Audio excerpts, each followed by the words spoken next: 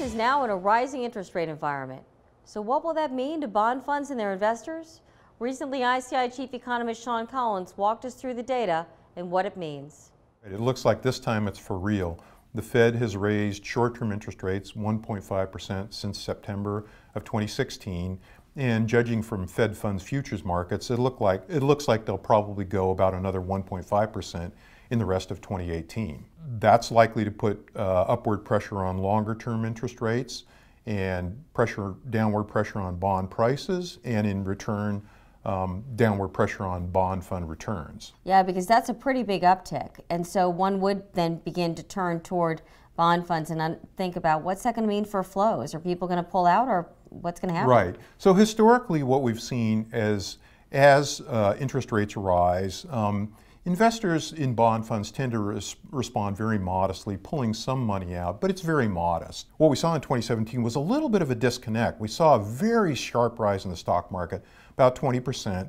Bond returns were about flat, and you would kind of think that in that environment, people wouldn't be putting money into bond funds, but just the reverse happened. We saw very strong inflows into bond funds, and that pretty much continued throughout the year. So it's a bit of a disconnect. And there's some drivers behind that that people need to understand. Probably at least two things are behind that. One is that with the stock market rising so much in 2017, if you want to keep your portfolio in balance, you're going to have to buy a lot of bonds if you've got also got stocks. That's one factor. Another factor is demographics. Generally, as people age into toward retirement age, they tend to move more of their portfolio toward bonds or bond funds. And so what we're seeing now is the baby boomers hitting full retirement age, and that's going to continue for uh, about another 10, 15 years.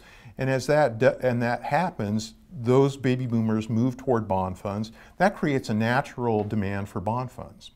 So both of those factors together probably help explain what, what happened in 2017.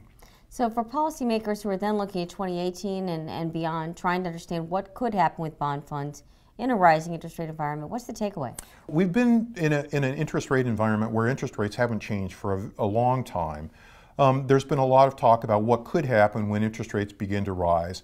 Speculation that certain investors in bond funds that are new to bond funds have never seen an interest rate cycle, and they might react more strongly than other investors have in the past. Well, in fact, it could be just the reverse because we've got strong inflows from baby boomers that are going to provide natural demand for bond funds going off into the future, even as interest rates rise, we could have a very strong demand for bond funds, which will offset any, any effect of, of uh, yields rising or bond funds return falling.